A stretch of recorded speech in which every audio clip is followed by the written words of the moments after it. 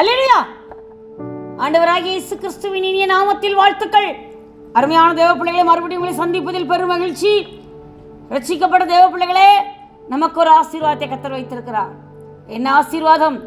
ஏசாயா அறுபத்தி ஒன்று எட்டு. அவர்களோட நித்திய உடன்படிக்கை எவர்கள் ரட்சிக்கப்பட்ட தேவ பிள்ளைகள் தேவ பிள்ளைகளே அந்த அவர்களோட நித்திய உடன்படிக்கை. அவர்களுடைய காரியங்கள் என்ன செய்ய போகிறார்? வாசிங்க. அதுக்கு முந்தின லைனை வாசிப்போம். நான் அவர்கள் கிரியை உண்மையாக்கி. உண்மையாக்குவாரு.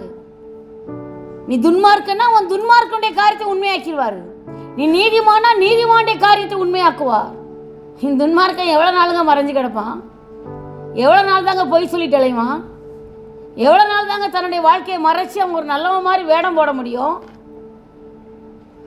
துன்மார்க்கன் அற்று போகக்கூடிய காலங்கள்.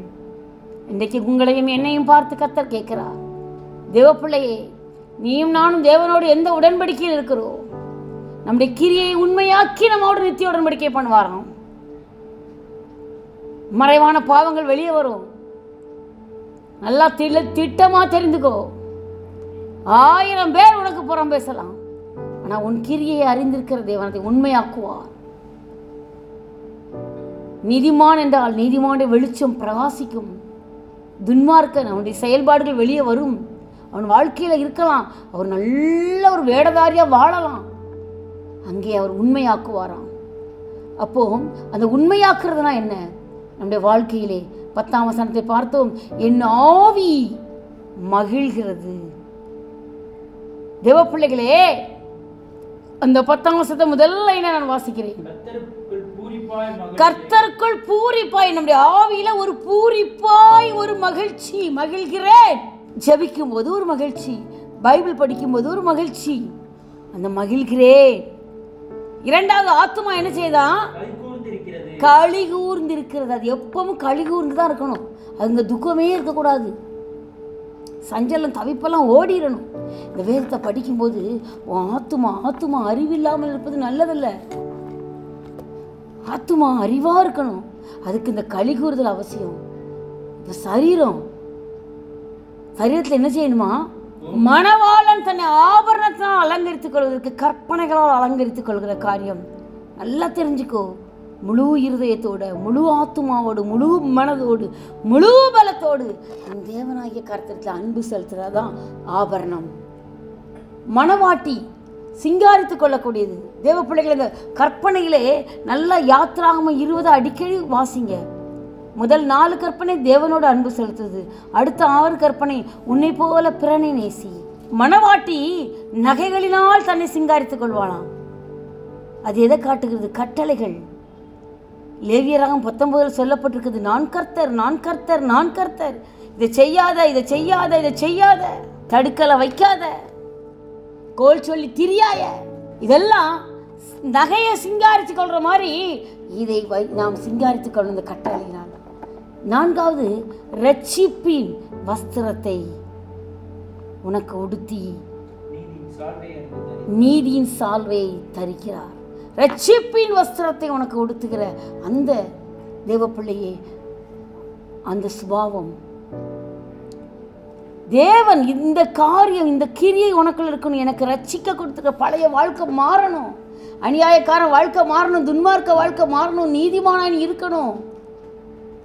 பரிசுத்தமாக்கப்பட்ட வாழ்வு வாழணும். நீதியின் சால்வை ஆபிரகாம் போல ஒரு விசுவாசம். நம்பப்படுகள் உறுதி கர்த்தர் சொன்னார் விசுவாசம் சூழ்நிலை விசுவாசிக்கிற பிள்ளை இல்லை. ஆனால் கர்த்தர் சொல்றாரு வானத்து நட்சத்திரத்தை காட்டி உனக்கு இருக்கு. எழுபத்தஞ்சு வயசுல சொல்றாரு. அதுக்கு பிறகு இருபத்தஞ்சு வருஷம் கழிச்சான் பிள்ளை பிறகு நூறு வயசுல தான் தேவன் வாக்குத்தத்தம் பண்ணப்பட்ட பிள்ளையை பிறக்கிறான். பொறுமையாக இரு. சூழ்நிலையை கண்டு பார்க்காத. இப்போ இந்த தேவன் யார்? உடன்படிக்கை பண்ணுகிற தேவன் யார்? ஏசாயா அறுபத்தி ஒன்று பதினொன்னை வாசியுங்கள்.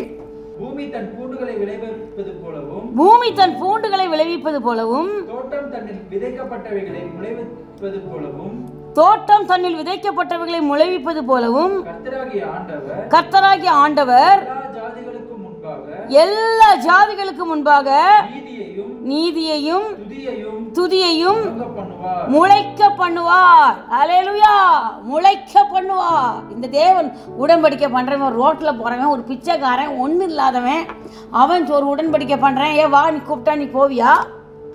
போமாண்டல்ல ஒரு பிரதமர் கூப்பிட்டு விடுறாரு.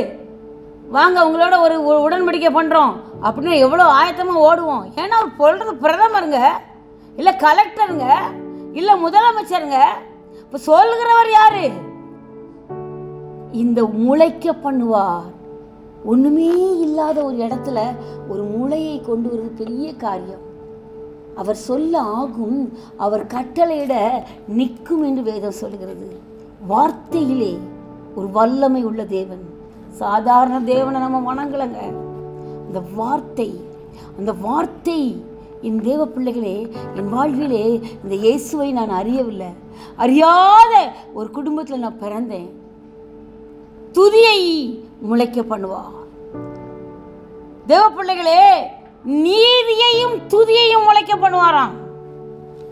முளைக்க பண்ணுறது அநீதி நிறைந்த இடத்துல. அவரை அறியாத நாட்களிலே நான் எத்தனை நான் ஆறாம் கிளாஸ் படிக்கும்போது சொல்லுவேன். நான் ஐந்தாம் கிளாஸ் வரைக்கும் எங்கள் ஊரில் படித்தேன் ஆறாம் கிளாஸ் பக்கத்து ஊர் சாயர்புரம். அந்த சாயர்புரத்தில் இப்போ சுற்று வட்டாரத்து கிராமங்கள்லேருந்து நிறைய பேர் வருவாங்க. நிறைய கிராமங்கள் வந்து படிப்பாங்க. அது ஒரு கிறிஸ்தவ ஊர். நான் அந்த கிறிஸ்தவ பிள்ளைகிட்ட சொல்லுவேன் உங்கள் தெய்வம் உங்களை ஆசீர்வதிக்கட்டும். என் தெய்வம் என்ன ஆசீர்வதிக்கும். எனக்கு தெரியாதுங்க. எவ்வளோ ஒரு அநீதி பாருங்க. அந்த கிறிஸ்தவ தெய்வத்தை இந்த இயேசு கிறிஸ்துவ நான் கொஞ்சம் கூட மதிச்சது கூட கிடையாது. இது கிறிஸ்தவங்களுடைய தெய்வம். அநீதியாக இருந்த வாழ்க்கையிலே தேவன் நீதியை முளைக்க பண்ணினார் யாவருக்கும் எல்லாருக்கும் ரட்சிப்பை உண்டாக்க. பாருங்க மத்திய ஒன்று இருபத்தி ஒன்னை வாசிப்போம். இந்த இயேசு யார்? நீதியை முளைக்க பண்ணுவார் என்று சொல்லப்பட்டிருக்கிறது. கர்த்தராகிய ஆண்டவர் எல்லா ஜாதிகளுக்கும் முன்பாக. நீ எந்த ஜாதியாயிரு நீ எந்த மதமாறு நீ எங்கனாலும் பிறந்துரு. வாசிப்போம் மத்தேயு ஒன்று இருபத்தி ஒன்னை வாசி. அவள் ஒரு குமாரனை பெறுவாள். அவருக்கு இயேசு என்று பெயரிடுவாயாக. ஏனெனில் அவர் தமது ஜனங்களின் பாவங்களை நீக்கி அவர்களை ரட்சிப்பார் இயேசு இயேசு என்றால் ரட்சகர் அதனால தான் தேவ பிள்ளைகளே நான் ஊழியத்துக்கு வந்தபோது இயேசுவே ரட்சகர் முப்பது முக்கோடி தெய்வங்கள் தான் என் தெய்வம் என்று வணங்கிக் கொண்டிருந்தேன். நீதி தெரியல எனக்கு. அந்த அநீதி. எது அநீதி? உருவாக்கின தேவன் உண்டாக்கின தேவன் யாருன்னு தெரியல. நீ எந்த மதத்தில் பிறந்திருக்கியோ அந்த மதத்தில் தான் உன்னை கோயில் கூட்டு போவாங்க. அந்த மதத்தின் மட்டும் தான் உன்னை வளர்ப்பாங்க. ஆனால் பத்து வயசுக்கு பிறகு இந்த ஏசுனா யாருன்னு தெரியும். ஏசுனா யாரு? கிறிஸ்தவ தெய்வம் நம்ம சொல்லுவோம். ஆனால் அந்த இயேசு எல்லா ஜாதிகளுக்கும் ரட்சிப்பை உண்டாக்கக்கூடிய தேவன். ஜனங்களின் பாவங்களை நீக்கி அவர்களை ரட்சிப்பார் சின்ன வயசுல தான் தேவ பிள்ளைகள் ஜென்ம சுபாவம். பிறக்கிற பிள்ளை தாயை போல இருக்கு தகப்பனை போல இருக்கு. அதுக்கு அவ்வளோ கோபம் வருது. நான் கடந்த வாரத்தில் ஊருக்கு தூத்துக்குடிக்கு போகிறேன் மெட்ரோவில் ஒரு குழந்த. நாங்கள் உட்காந்துருக்கோம் திடீர்னு ஒரு கண்ணாடி டமா கண்ணாடி மூக்கு கண்ணாடி தப்புன்னு வந்து விழுது. எல்லாரும் கவனம் அங்கே போச்சு. ஒரு குழந்தை தாயினுடைய கண்ணாடி தூக்கி கீழே போட்டுட்டு என் தகப்பன் அப்படி பார்த்துட்டு கண்ணாடி தூக்கி வச்சுக்கிட்டார். திருப்பி அந்த பிள்ளை விட மாட்டுக்கு உன்னை தகப்பன் என்ன பண்ணார்? நின்றுட்டு இருக்கிறார் அவருக்கு இடம்லாம் அவர் தூக்கி வச்சிருக்கிறார். இப்போ அந்த குழந்தை எல்லாருக்கும் தெரியுது. முந்தி வரைக்கும் தாய் மடியில் இருக்கிற வரைக்கும் தெரியல. மேலே வச்சது. அது அந்த மேலே தொங்குனதெல்லாம் ரெண்டு ரெண்டு கையும் பிடிச்சி பிடிச்சிது. அப்படி கொஞ்சம் கொஞ்சம் ஆட்டுச்சு. அப்புறம் இன்னும் அங்கே தள்ளி உள்ளதை பிடிக்க போது அதுக்கு முடியலை. உடனே கோவத்தில் தகப்பன் அப்படியே முட்டுது. வலி எப்படி வலிக்கும்? உடனே என் பையன் மம்மி ட்ரெயினில் அமைதியில் இருங்க மம்மி. நான் அந்த ஒரு கில் வச்சிருக்கேன். முட்டுது. தகப்பன் பிடிச்சி பார்க்குறாரு. எல்லாரும் பார்க்குறாங்க. சிலர் சிரிக்கிறாங்க. தேவ பிள்ளைகளே ஜென்ம சுபாவம் கோபம். அதை தரலன்னு அது என்ன பண்ணுது? முட்டுது. டம்மு டம்முன்னு அந்த தகப்பனுடைய மண்டையில முட்டுது அந்த நெத்தியில முட்டுது. கோபம். இது ஜென்ம சுபாவம். அவைகளை நீக்கி அவர்களை ரட்சிப்பார். அதான் ஏசுங்க கிறிஸ்தவ மதம் கிடையாதுங்க. இது கிறிஸ்தவர்களுடைய தெய்வம் கிடையாதுங்க. எல்லா சாதிகளுக்கும் ஒரு நீதி. அந்த நீதி எது? உன் ஜென்ம சுபாவத்திலிருந்து உன்னை விடுவிக்கக்கூடிய காரியம். என்னுடைய வாழ்க்கையில் கூட சிறு வயதில் எந்த சுபாவங்கள் இருக்குன்னு சொல்லுங்க.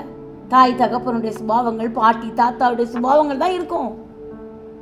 அதிலிருந்து நம்மளை விடுவிக்கிற தேவன். விடுவிக்கிற தேவன். நான் அடிக்கடி சொல்வேன் பிள்ளையை சரியாக வளங்க. ஐந்து வயசுல நீ பிள்ளையை வளர்க்க தெரியலனா உன் பிள்ளைய முடியாது. நீதியை முளைக்க பண்ணுவார் நீதி. ரட்சிப்புங்கிற நீதி. மற்ற ஆறு முப்பத்தி மூணு வேகமாக வாசியுங்கள். முதலாவது தேவனுடைய ராஜ்யத்தையும் நீதியையும் தேடுங்கள். அப்பொழுது இவைகள் எல்லாம் உங்களுக்கு கூட கொடுக்கும். அப்பொழுது இவைகள் எல்லாம் உங்களுக்கு கூட கொடுக்கப்படும். எல்லாம்.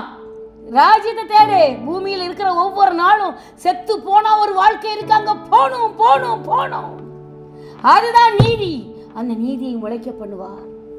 அடுத்தபடியாக அதில் சொல்லப்பட்டிருக்கு துதியை முளைக்க பண்ணுவார். துதி. அந்த ராஜ்யத்துக்கு போகிறோம்னாலே எங்கள் ஸ்தோத்திரம் சொல்ல ஆரம்பிச்சிருவோம்.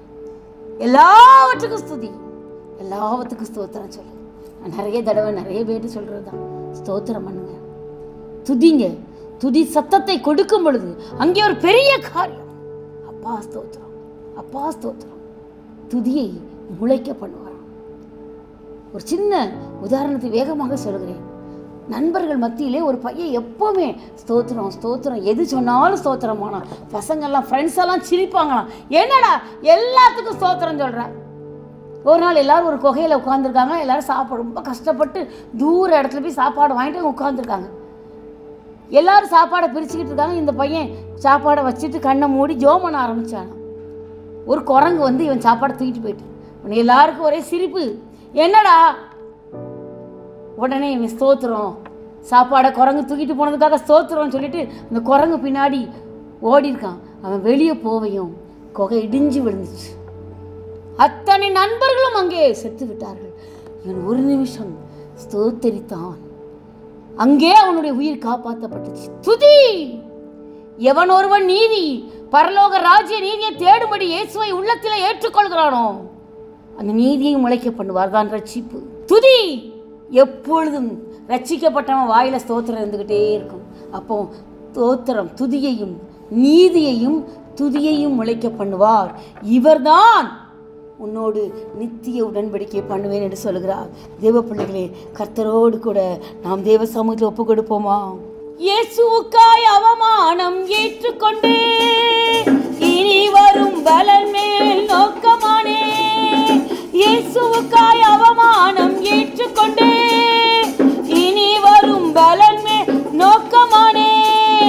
இயேசுவின் கரங்களை பற்றி கொண்டே நான் இயேசுவின் கரங்களை பற்றி கொண்டே எதற்கும் பய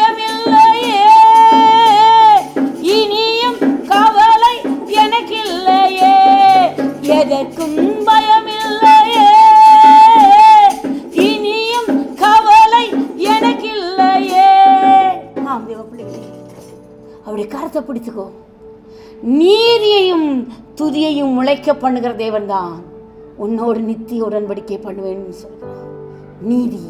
மறித்த பிறகு ஒரு ராஜ்யம் உண்டு. இந்த தேவனுடைய ராஜ்யத்துக்கு இந்த பரலோக ராஜ்யத்துக்கு போக. கத்தர் உன்னை பக்குவப்படுத்துகிறார் பழக்கப்படுத்துகிறார். இந்த பூமியிலே வாழ. துதி. எப்பொழுதும் உன் ஆவி ஆத்துமா சரம் துதித்து கொண்டே இருக்க. அந்த துதியை முளைக்க பண்ணுவார். ரசிக்கப்பட்டவன் தான் சோத்தரிப்பான் ரட்சிக்கப்படாதவன் முறுமுறுத்துக்கிட்டே இருப்பான். ஆண்டவர் எனக்கு என்ன செஞ்சார்? நான் சர்ச்சைக்கு போனேன் எனக்கு என்ன பண்ணாரு? முறுமுறுக்கிறியா? உங்ககிட்ட துதி இல்லை. உங்ககிட்ட நீதியை முளைக்க பண்ணலை. அந்த ரட்சிப்போனுக்கு எங்கேயோ தொலைஞ்சு போயிட்டு. யோசித்துக்கோ அப்படியே கரத்திலே நீதியையும் துதியையும் முளைக்கப்படுகிற தேவன் உன் வாழ்க்கையில் கூட. இந்த வியாதியின் கூறுகள் ஒளியவும் கடன் பிரச்சனைகள் மாறவும் உன்னை ஆசீர்வதிக்கிற தேவன். உனக்காக யாவையும் செய்து முட்டிக்கிறவராய் அவர் நின்று கொண்டிருக்கிறார். அவருடைய கரங்களிலே உங்களை தாழ்த்துவீர்களா? பெரிய காரியங்கள் செய்யும்படி கர்த்தரா செய்வாடி கொண்டிருக்கிறார். அவர் நல்லவர் வல்லவர் போதுமானவர். நமக்காக யாவையும் செய்து முடிப்பார் அவருடைய கரங்களில் தாழ்த்துவோம். பெரிய காரியம் செய்யும்படி கர்த்தர் செய்வாடி கொண்டிருக்கிறார். நாம மகிமைக்கு எதுவாக எழுந்து பிரகாசிக்கிற விளக்காக அவரோடு ஐக்கியப்படும் கர்த்தரே உனக்கு துணை. நீதியையும் துதியும் முளைக்க பண்ணுகிறவர் உன் வீட்டிலே முளைக்க பண்ணுவார் இந்த ஆசீர்வாதத்தை முளைக்க பண்ணுவார் நித்திய உடன்படிக்கை பண்ணவும் ஆயத்தமாய் வந்திருக்க உன்னை ஆசீர்வதிக்கிறார். ஏசுவி நாமத்தில் ஆசீர்வாதத்தோடு அனுப்பும். நல்ல பிதாவே. ஆமேன்.